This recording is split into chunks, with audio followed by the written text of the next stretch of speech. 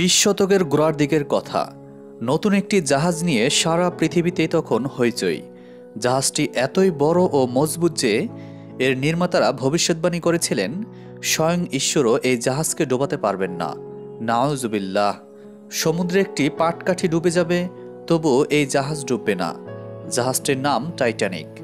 অথচ সবার ধারণা ভুল প্রমাণ করে, উনিশশো বারো সালের চোদ্দ এপ্রিল রাত এগারোটা পঁয়তাল্লিশ মিনিটে উত্তর আটলান্টিক সমুদ্রের ডুবন্ত একটি আইসবার্গের সাথে ধাক্কা লেগে সমুদ্রের নীল জলে তলিয়ে যায় এই টাইটানিক। তাও আবার প্রথম যাত্রাতেই।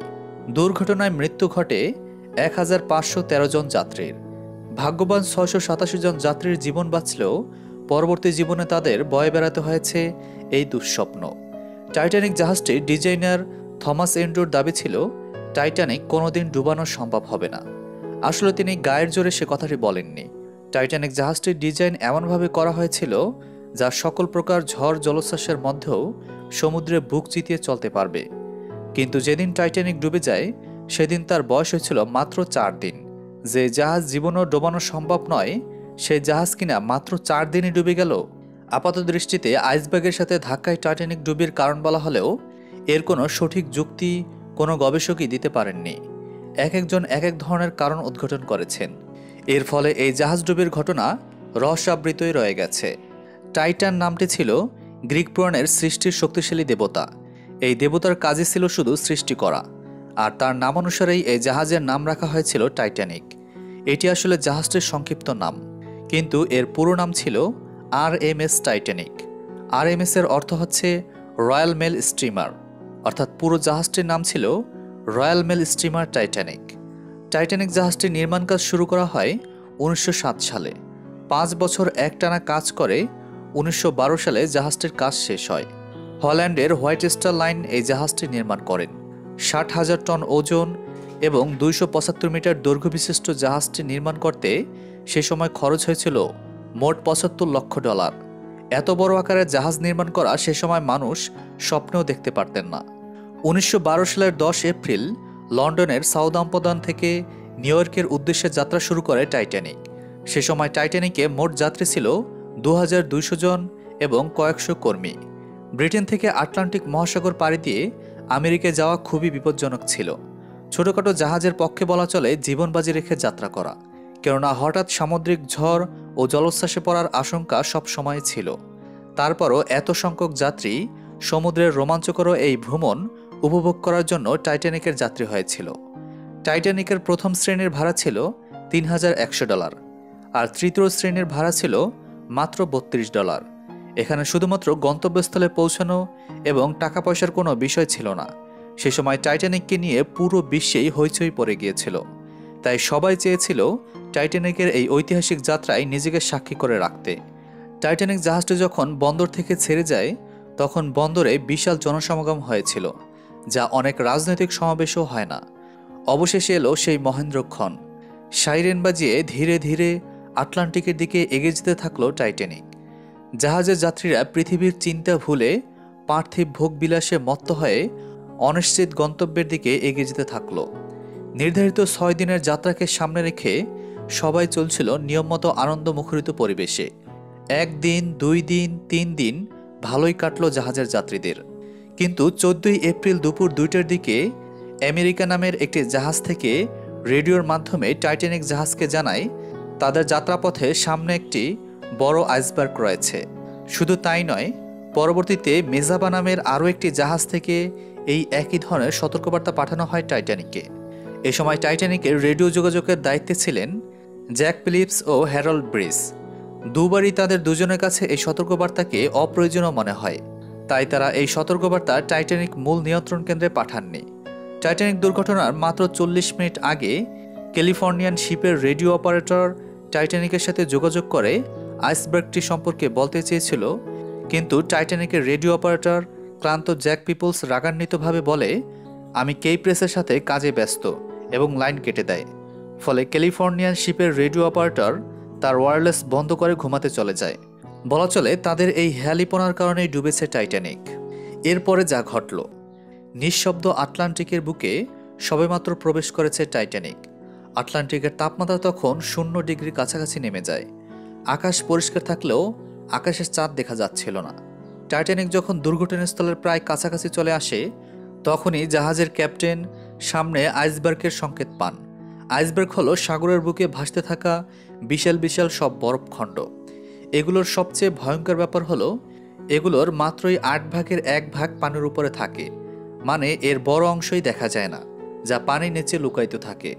আইসবার্গ দেখার পর তখন তিনি জাহাজের গতি সামান্য দক্ষিণ দিকে ফিরিয়ে নেন। সে সময় টাইটানিকের পথ পর্যবেক্ষণকারীরা সরাসরি টাইটানিকের সামনে সেই আইসবার্গটি দেখতে পায়, কিন্তু তখন অনেক দেরি হয়ে গেছে। টাইটানিকের ফার্স্ট অফিসার মুরডক আকস্মিকভাবেই বামে মোড় নেওয়ার অর্ডার দেন এবং জাহাজটিকে সম্পূর্ণ উল্টা দিকে চালনা করতে বা বন্ধ করে দিতে বলেন। এরপরে টাইটানিককে আর বাঁচানো সম্ভব হয়নি। এর ডান দিকে থাকা আইসবার্গের সাথে প্রচণ্ড ঘষা খেয়ে চলতে থাকে, ফলে টাইটানিকের প্রায় নব্বই মিটার অংশ জুড়ে চির বা ফাটল দেখা দেয়। টাইটানিক জাহাজটি যে স্থানে ডুবেছিল, সেই স্থানের নাম হল great banks of Newfoundland Titanic সর্বোচ্চ চারটি পানিপূর্ণ কম্পার্টমেন্ট নিয়ে ভেসে থাকতে পারত। কিন্তু পানিপূর্ণ হয়ে গিয়েছিল পাঁচটি কম্পার্টমেন্ট। অনেকের মধ্যে এই কম্পার্টমেন্ট নিয়ে কিছুটা খটকা থাকতে পারে। তাদের উদ্দেশ্য বলছি, ধরুন আপনি একটি জাহাজ তৈরি করেছেন, তার তলদেশে চারটি ভাগে বিভক্ত। এই চারটি ভাগের মধ্যে একটি ভাগ দুর্ঘটনায় ক্ষতিগ্রস্ত হয়েছে এবং সেটি দিয়ে জাহাজের মধ্যে পানি প্রবেশ করেছে। এই অবস্থায় আপনি যদি সেই অংশ বন্ধ করে দেন, তাহলে জাহাজে ঢোকা পানি শুধুমাত্র এই একটি কম্পার্টমেন্টকেই পানিপূর্ণ করতে পারবে। আর বাকি তিনটি কম্পার্টমেন্ট অক্ষত অবস্থায় জাহাজটিকে ভাসিয়ে রাখবে। এছাড়াও পানি প্রতিরোধের জন্য বারোটি গেট ছিল।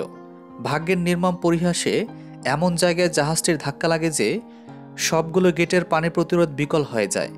পানির ভারে আস্তে আস্তে পানিতে তলিয়ে যেতে থাকে টাইটানিক। ক্যাপ্টেন স্মিথ সহ জাহাজ চালনায় দায়িত্বপ্রাপ্ত সবাই বুঝতে পারে যে টাইটানিককে আর বাঁচানো যাবে না। ক্যাপ্টেন স্মিথ মূল নিয়ন্ত্রণ কেন্দ্রে আসেন এবং জাহাজটি সম্পূর্ণরূপে বন্ধ করে দেন। রাত বারোটার পর লাইফ বোটগুলো নামানো শুরু হয়। প্রত্যেক যাত্রী তখন আপন প্রাণ বাঁচানোর জন্য লাইফ বোর্ডে উঠতে যায় কিন্তু লাইফ বোর্ড ছিল মাত্র ষোলোটি। তাই ক্যাপ্টেন নির্দেশ দিলেন মহিলা ও শিশুদের আগে নামতে দিন। আপনজনকে নিশ্চিত মৃত্যুর মুখে ছেড়ে যাওয়ার সেই দৃশ্য ছিল ভয়ঙ্কর। টাইটানিকের নিয়ন্ত্রণ কেন্দ্র হতে দূরবর্তী একটি জাহাজের আলো দেখা যাচ্ছিল, যার পরিচয় এখনও রহস্যে ঘেরা। কেউ কেউ বলে সেটি ছিল ক্যালিফোর্নিয়ান, আবার কেউ কেউ বলে সেটি ছিল স্যামসন। টাইটানিক থেকে ওয়্যারলেসের মাধ্যমে যোগাযোগে কোনো সাড়া না পেয়ে পরবর্তীতে মর্স ল্যাম্প এবং শেষে জরুরি রকেট ছোড়ার মাধ্যমেও জাহাজটির সাথে যোগাযোগের চেষ্টা করা হয়।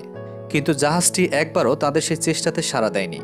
এছাড়াও টাইটানিক থেকে সাহায্য চেয়ে যে বার্তা পাঠানো হয়েছিল, তাতেও সঠিক সময় কেউ সাড়া দিতে পারেনি। কেননা নিকটবর্তী স্থানে কেউ ছিল না। টাইটানিকের সবচেয়ে নিকটে ছিল দি কারপাথিয়া জাহাজটি। তবে তারা যে দূরত্বে ছিল, সেখান থেকে টাইটানিকের কাছে আসতে আসতে সময় লাগে প্রায় চার ঘণ্টা। এরপর রাত দুটা থেকে দুটা বিশ মিনিটের মধ্যেই টাইটানিকের সম্পূর্ণ অংশ আটলান্টিকের বুকে তলিয়ে যায়। ডুবে যাওয়ার শেষ মুহূর্তে জাহাজের বৈদ্যুতিক সংযোগ বিকল হয়ে যায়, যার কারণে সেই পরিবেশটি আরও হৃদয় বিদারক হয়ে ওঠে। টাইটানিক যখন সমুদ্রের বুকে তলিয়ে যায়, ঠিক তার এক ঘণ্টা চল্লিশ মিনিট পর রাত চারটা দশ মিনিটে সেখানে আসে দি কারপাথিয়া নামের একটি জাহাজ। তখন পর্যন্ত যারা সমুদ্রের বুকে ভেসে বেড়াচ্ছিল, তাদেরকে উদ্ধার করে সকাল সাড়ে আটটার দিকে নিউ ইয়র্কে চলে যায় সেই জাহাজটি। জাহাজ ডোবার কারণ নিয়ে অনেকেরই বিভিন্ন ধরনের মতামত রয়েছে। অনেকেরই ধারণা ছিল, টাইটানিক জাহাজে কোনো অভিশাপ ছিল। আর এ যুক্তি প্রমাণ করার অন্যতম একটি কারণ হিসেবে তারা দেখিয়েছিল, টাইটানিকের number three nine zero nine zero four.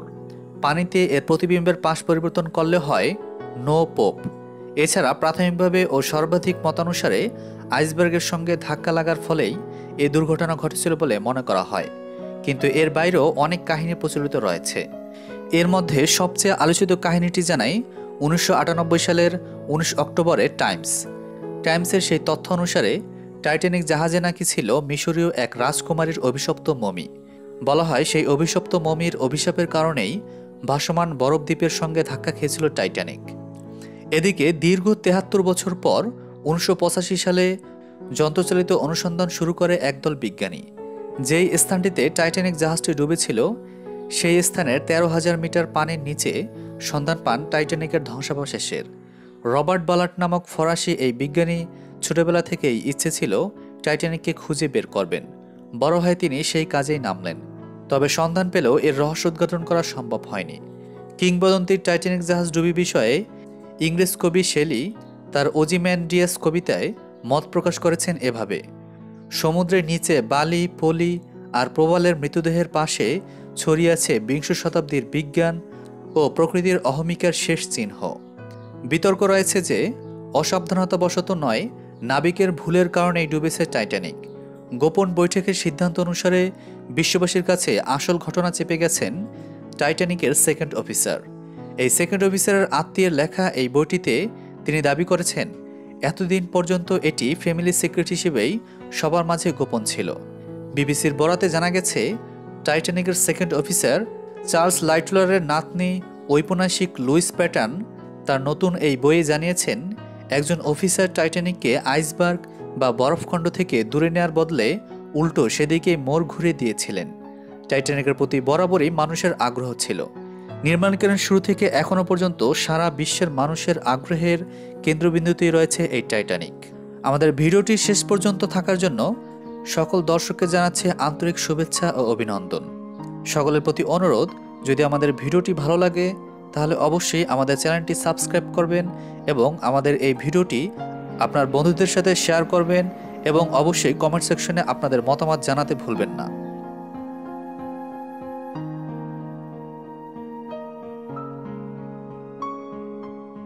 বিনোদন জগৎ ও সাম্প্রতিক ঘটে যাওয়া সকল প্রকার আপডেট খবরাখবর সবার আগে পেতে আমাদের আর এস ভয়েস টিভি চ্যানেলটি এখনই সাবস্ক্রাইব করে আমাদের সাথেই থাকুন।